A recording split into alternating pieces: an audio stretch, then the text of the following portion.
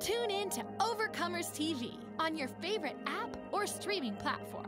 It's time to overcome. Yeah, so Colorado Springs Christian School first came um, when my wife and I were actually looking for a new school for our own children to attend.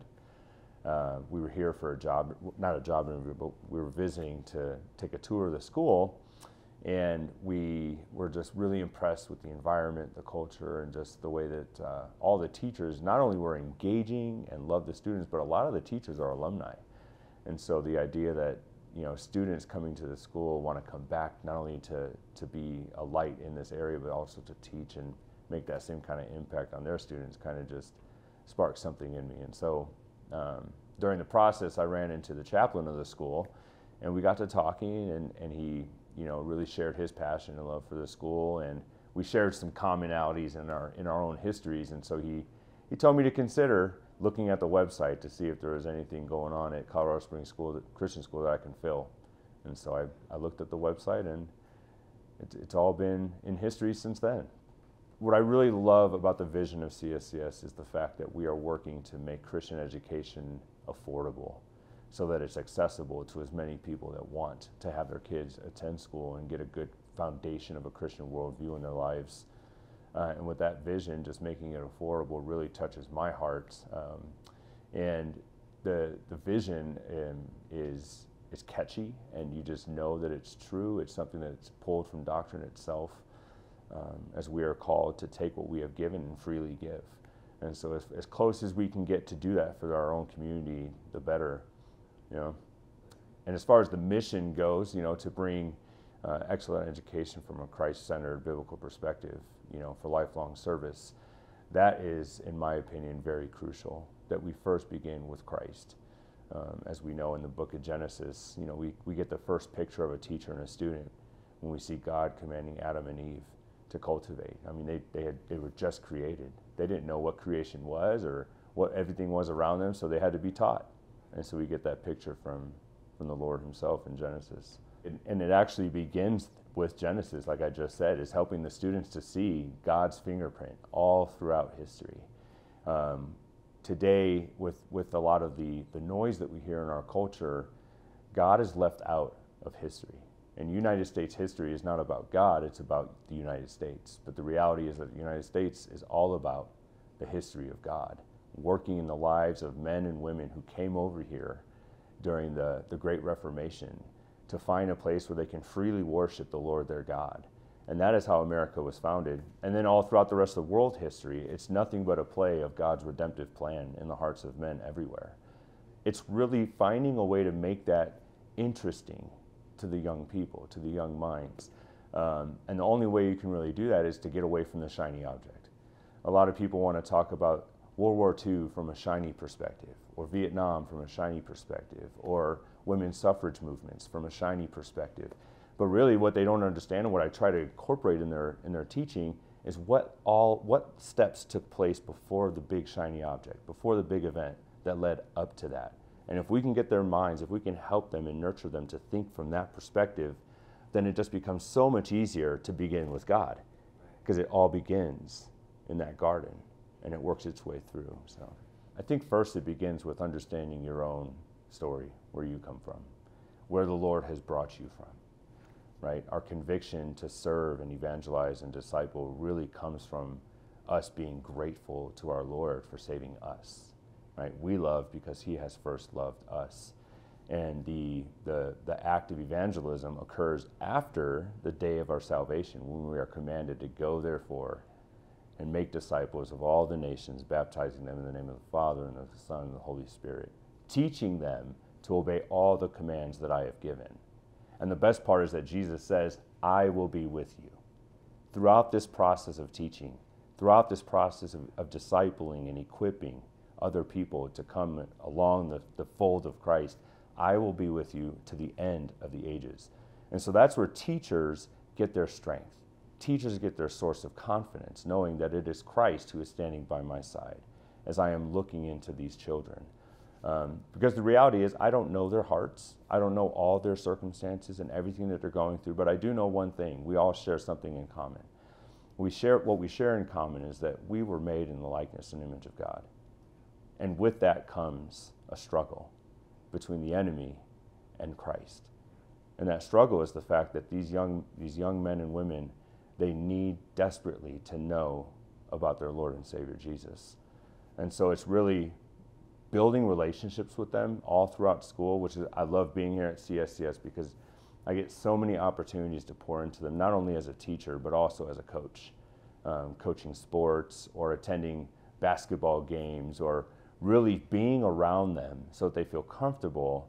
And then hopefully by my, just by me being around, they might share some of what they're going through with me. And then by that, the Lord can tell me, there, Mike, there's where you need to go. That's the one you need to talk to. Here's what they're going through.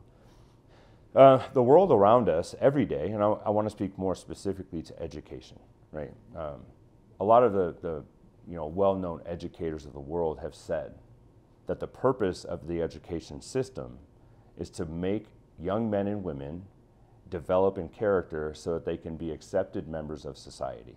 And that sounds great, right? Like we want to we want to build their character. We want to develop them to be ethical, moral, and legal followers of the law. So they, but here's the problem. It says so they can be, so they can become acceptable members of society. This is what the world is saying. The problem with this is their standard by which they measure our students, our young people, and us to whether we are acceptable is society itself. It's how, we, how well can we conform to society. If I will agree with society, I can then become an acceptable member of that society. That's problem number one. Problem number two is this word accepted. And that's where we come in. That's where the beauty of the gospel comes in. We don't have to work to be accepted. We are accepted only because we have put our faith and trust in, in Jesus Christ. And by his blood, we are covered. Once we can get that to the students, once we can relay that message to the students, suddenly academics becomes joyful when they can see the glory of God in mathematics, when they can see the wonder and the creativity of God in science or in the arts or sports. And history is no longer boring and mundane, but it's actually really exciting because they get to see their creator working through the lives of other men and women. And now it gives them a hope. Will this same Lord work in my life? Will he do the same thing for me? And we here at CSCS are here to say yes. Not only, not only will he, but he is, even when you don't know it. One of the ways that I really appreciate what CSCS offers is partnership with parents and the community. There is an, ex- there is an excellent emphasis on partnership. We see parents all the time. I can, I, I, I can teach a lesson from the Bible or from the history books and look outside my classroom door and see a mother and a father walking down the hall on their way to do some activity with the school or with their students, um, whether it's coaching, right? Parents can step in and coach and help come alongside the young men and women here. They can also serve in the capacity of volunteering at the school. Um, and then, of course, always, we, we talked about this earlier, right? We are, we are to freely give what has been given to us. But the Lord does provide us with providence, financial providence, that helps us make that affordable to the rest of the people in this community. Like I said earlier, we live in a culture that wants to tell young people that they have to work to be accepted. We see an increase in suicide. We see an increase in depression, an increase in self harm in our young men, our young women and children, young children. And so the best, one of the best, one a good way to get involved is, if possible, financially give to CSCS. What that does is it helps us come alongside more people in our community and make Jesus known in, in Colorado Springs. Prayer support, um, not only for the teachers. Um, just recently, we had we had things happening with a, a teacher, and the whole community has come around and prayed and supported this family. And that's uh, every every week our chaplain sends out a prayer a prayer sheet that tells everybody what we can be praying for. And so, as far as the community goes, the biggest impact that we can have from the prayer perspective is praying for our superintendent. He's the one going out in the community, reaching people, meeting with people, praying for our director of operations.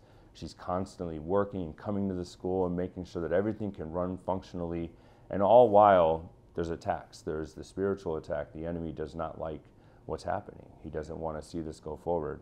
He wants us to be trapped in our culture. And so, um, but most importantly, praying for the students, praying that their hearts are prepared, the soil is ready to hear the gospel. So I didn't grow up, I didn't have an opportunity to hear any of this when I was growing up. Um, I grew up in the inner city streets of Chicago in the 80s and the 90s. Came from a broken home. I didn't have a father. My mother was severely mentally ill. Uh, and for a while, my sister and I spent a stint in a foster care institution. And so we didn't have a place to go. We listened to the world, that idea that you had to be accepted. And so I sought acceptance everywhere. I sought it in friends, um, the local gangs, drugs, alcohol.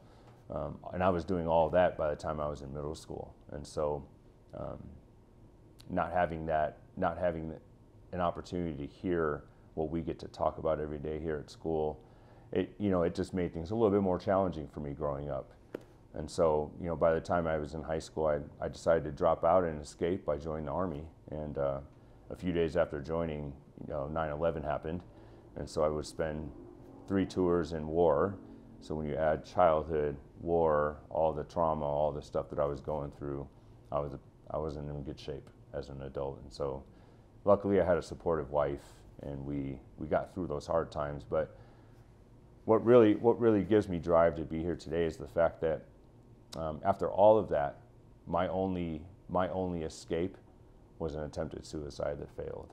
And I was pretty upset about that. You know, I was, I was upset at the fact that, you know, there's this, there's this God in the world that the, the nicest thing he could do for me was let me die instead of letting me live in all this pain and misery and everything I had been through.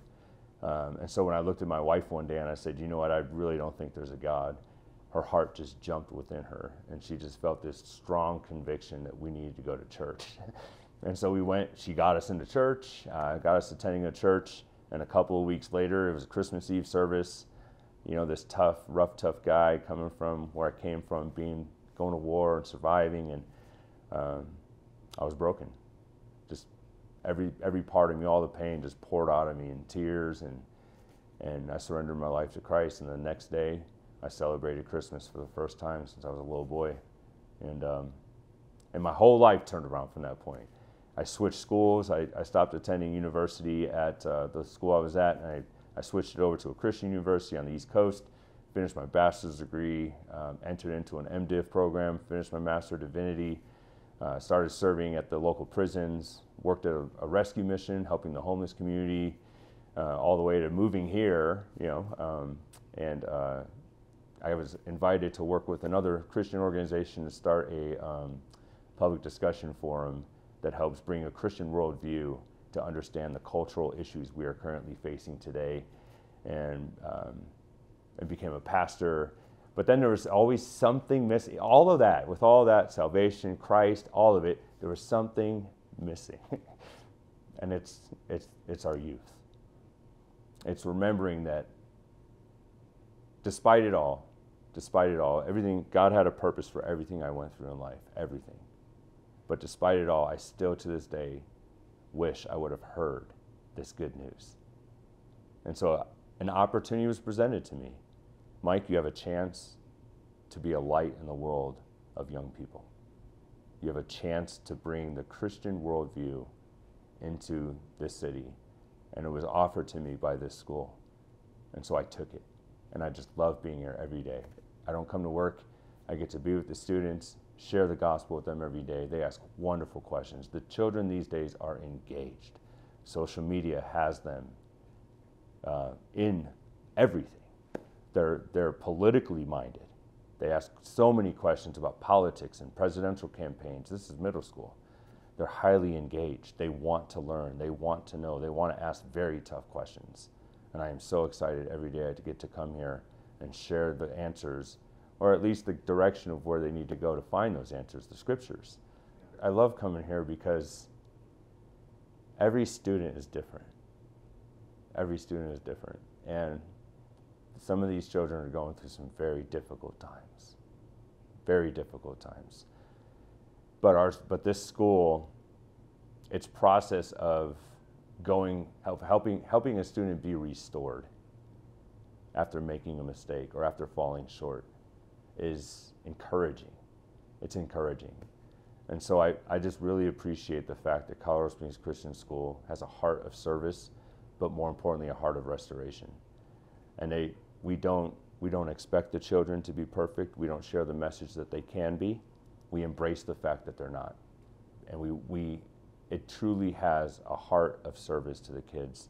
In fact, one of the cool things, and I don't know if it's going to make it in here, but uh, first thing we were told at, a, at an early briefing was if a student comes to you and says, I want to know more, if there's an opportunity that comes, you find somebody else to go to your class and you stay with that student and you teach them what they want to know about Jesus. Because that is why we are here. And that to me is just mind blowing. We'll find someone else to sit in your class. Don't ask someone else to sit with the student, they asked you. So you stop what you're doing, get another teacher or faculty member, or staff, volunteer to go sit with your class because they want to hear about Christ from someone they know and trust, and that's you. And for us to have that opportunity, that freedom, that weight that comes off of us to just freely give the Word of God to a, to a student is palpable. It's amazing. Celebrate what Jesus is doing throughout the nation and rise up to answer His call on your life to serve the poor, heal the broken, free the captives, and bring joy to those in need. Find hope, encouragement, and motivation through Overcomers TV. This inspiring network features everyday people and ministries across America who are putting God's love in action. Tune in to Overcomers TV on your favorite app or streaming platform. It's time to overcome.